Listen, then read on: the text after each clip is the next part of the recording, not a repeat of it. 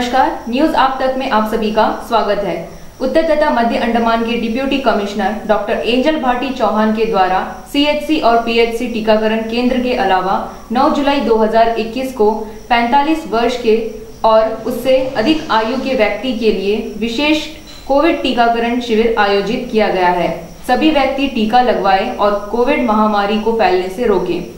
मायाबंदर में Mayabunder fisheries colony, Pokadera panchayat hall Dhanapur Mohanpur और वेबी। डिगलीपुर में पश्चिम सागर सागर द्वीप और गांधीनगर। रंगत में लॉन्ग आइलैंड और कलसी। इन क्षेत्र में कल टीकाकरण शिविर आयोजित किया जाएगा। अंडमान से जुड़ी सभी छोटी बड़ी खबरें देखने के लिए हमारे अपने न्यूज़ आज तक यूट्यूब चैनल को सब्सक्राइब करें और बेल आइकॉन प्रेस करना ना भूलें।